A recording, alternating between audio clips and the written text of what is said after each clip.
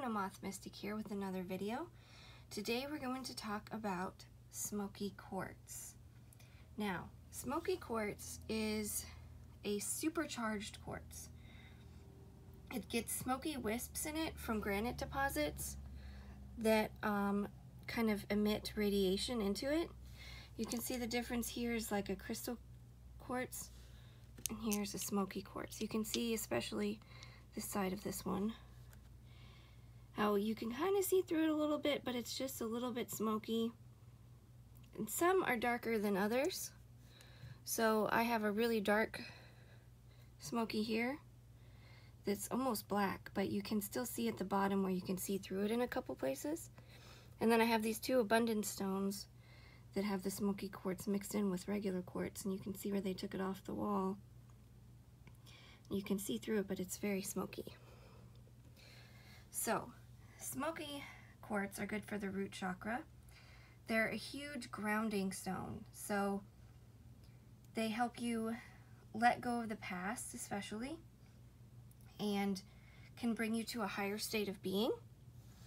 Um, they cleanse negativity, they absorb it. So you might even see if if you have a stone, a smoky quartz, and you pour all your negativity into it, it can even seem darker. So it's picking up all that negativity.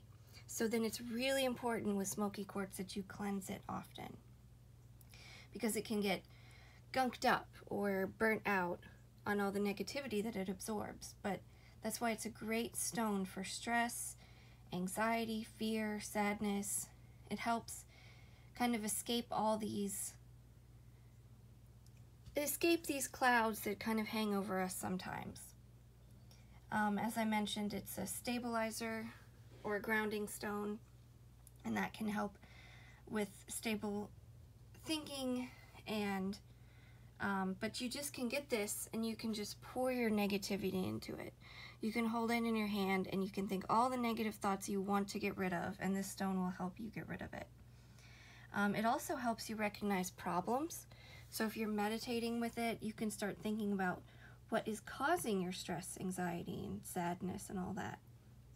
But it really is a transformation stone um, that can also protect your aura. So if you find inner strength from this stone, then you can really um, get rid of that negativity. So that's why smokies are so important to people who are you know, facing a lot of stress in their lives and a lot of negativity. But remember to cleanse it.